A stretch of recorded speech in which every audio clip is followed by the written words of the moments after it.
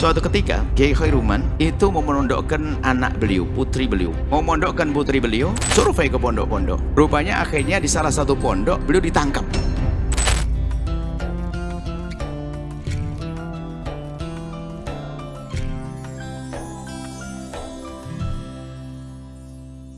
Kita mulai dengan Kiai Haji Khairuman Ar-Rahbini dengan ibunya Mas Syufah. Kiai Haji Khairuman Ar-Rahbini adalah ayahanda daripada Umi Fairus Ar-Rahbini. Dan ibunya Mas Syufah adalah ibunda daripada Umi Fairus Ar-Rahbini.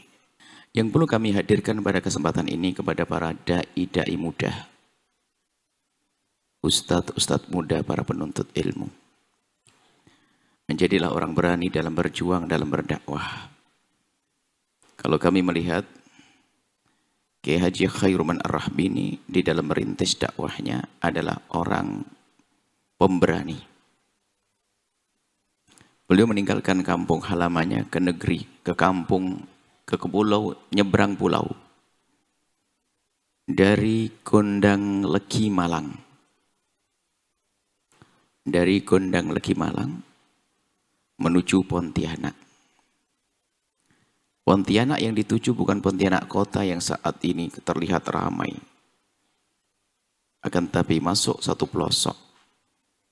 Satu tempat yang sepi dan sunyi.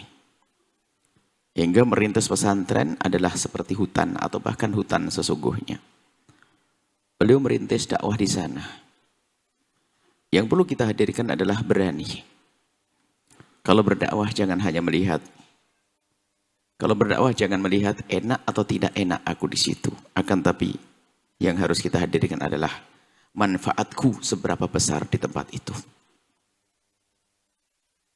Sampai kami mendengar cerita bahwa nyamuknya itu gede-gedenya luar biasa. Bahkan waktu ibunda, ibunya Imam Syufah itu lihat dari tempat pondok yang dirintis oleh beliau dengan ayahanda Ki Haji Khairuman. Dengan klinik itu jauh tidak tahu berapa kilo, tidak ada kendaraan. Menggendong anak sambil di perutnya ada bayi, itu berjalan kaki.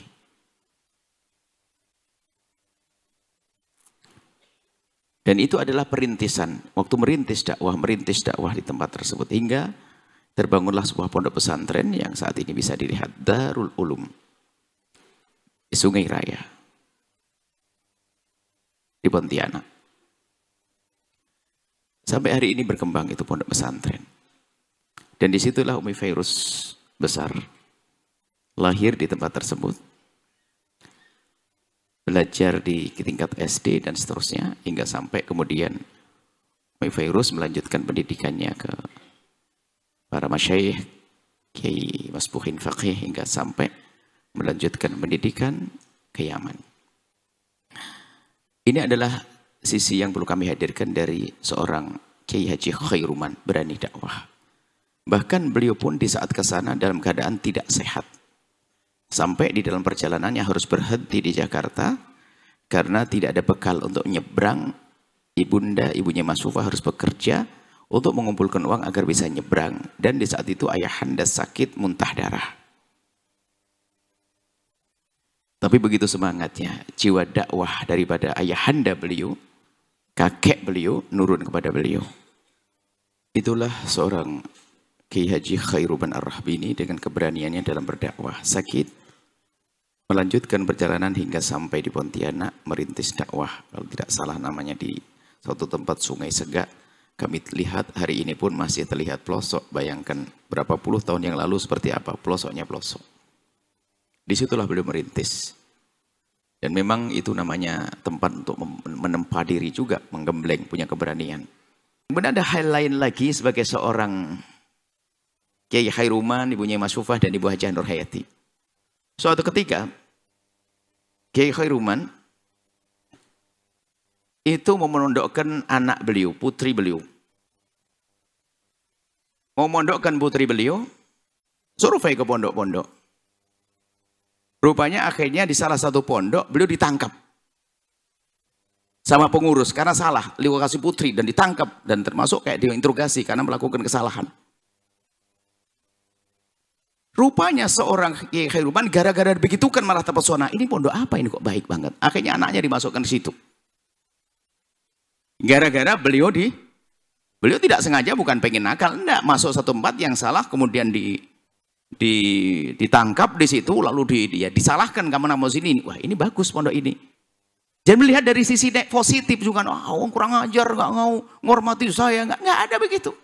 Langsung akhirnya waktu itu putri-putri beliau dua waktu itu kakak beradik yang masih bingung nyari pondok malah ketemu gara-gara beliau ditangkap di situ. Akhirnya sudah anak saya saya masukkan ke situ. Itulah dia Umi Virus Rohbin ini masuk ke situ. Dimasukkan pondok itu gara-gara ditangkap ayahnya. Jadi makanya lah itu. Jadi seorang yang jujur itu, seorang yang insyaf itu mudah. Mestinya kan marah. Oh, Kiai udah tidak tahu saya. Ini kayak hari ini. Ditangkap malah ada nilai positif yang ditangkap. Berarti yang, yang difahami oleh beliau serius.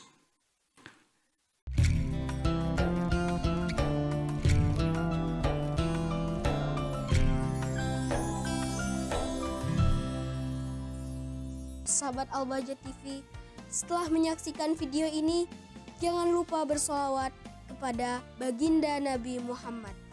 Sallu ala Nabi Muhammad. Allahumma alaihi wa ala alihi wa sahbihi.